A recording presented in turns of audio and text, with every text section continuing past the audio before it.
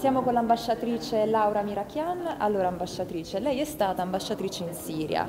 Come vede, vista la situazione attuale della Siria, una guerra civile che ormai dura da anni e varie anche insomma, controversie che riguardano il leader politico Bashar al-Assad, che è ancora lì, però fino qualche, diciamo, all'anno scorso sembrava eh, traballare. Come vede adesso, anche visti, viste le infiltrazioni dell'estremismo islamico, questo paese? Beh, qui è una domanda un po' complessa, ma insomma mi... cominciamo dalla fine.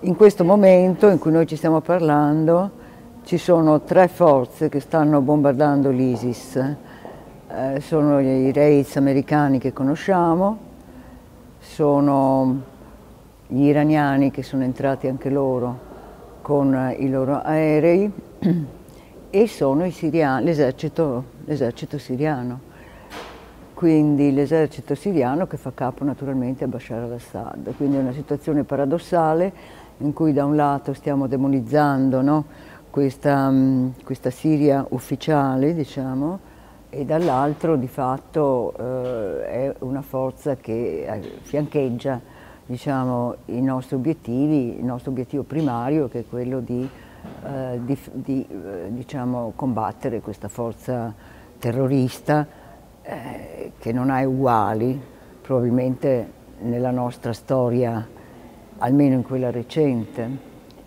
Eh, L'ISIS ha un po' sovvertito, anzi ha completamente sovvertito i parametri tradizionali con cui noi eh, ci confrontiamo normalmente in situazioni di crisi. No? Siamo abituati a pensare che c'è una parte di buoni, una parte di cattivi, una parte di mediani che si possono recuperare, una parte di irrecuperabili, eccetera. Qui eh, in realtà eh, stiamo maturando l'idea che c'è una parte da combattere con priorità assoluta ed è eh, questo cosiddetto Stato islamico che usa i metodi particolarmente feroci che conosciamo, che ha un'expertise particolare per quanto riguarda la comunicazione mediatica, mediatica, che ormai ha contaminato non soltanto lo scacchiere sirio-iracheno, ma con quest'idea di califfato praticamente da, dalla Libia all'Africa profonda, alla penisola arabica, eccetera. Quindi c'è questa situazione in questo momento molto paradossale che in qualche modo sconvolge i nostri parametri. No? Se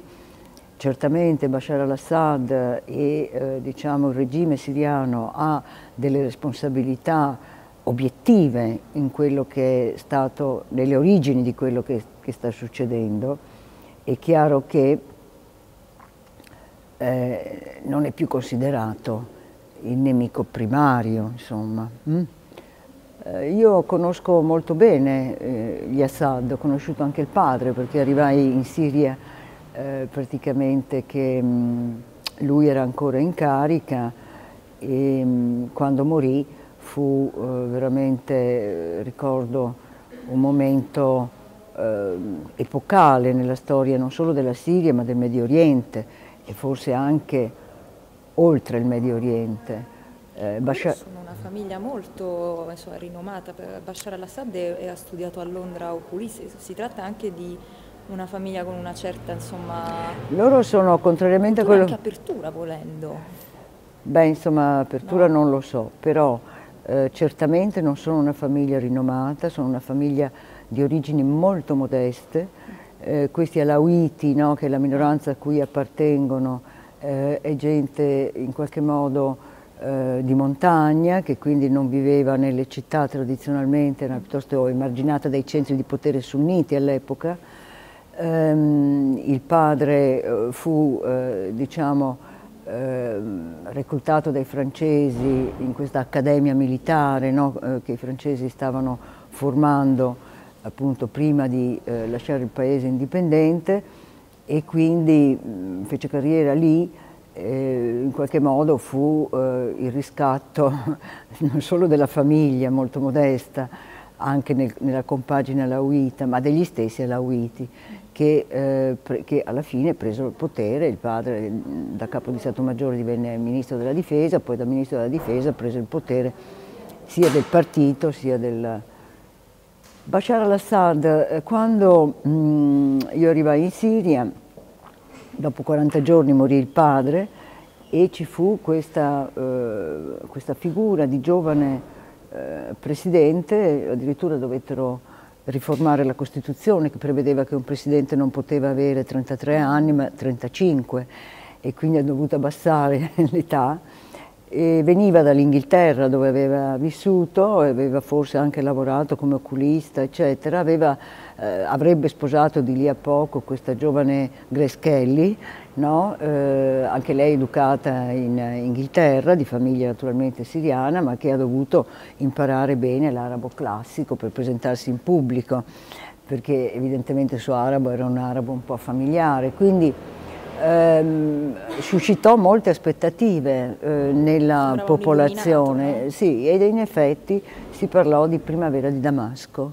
Il primo anno del suo mandato fu, ehm, 2000-2001, eh, fu un anno di grandi speranze eh, per i giovani e anche per tutta la comunità sunnita, che non dimentichiamo è la grande maggioranza della popolazione siriana eh, sono circa l'80%. Mm? Eh, che ci fosse quindi una liberalizzazione del sistema, sia economico sia politico. In realtà lui fece delle prime riforme di carattere economico eh, per dare respiro un po' all'iniziativa privata, ehm, consolidando queste aspettative, ma non arrivò mai a eh, un passo fondamentale, che era quello di aprire il sistema politico come eh, bastava riformare un articolo, l'articolo 8 della Costituzione, che prevede eh, un sistema di partito unico, il BAS. Mm?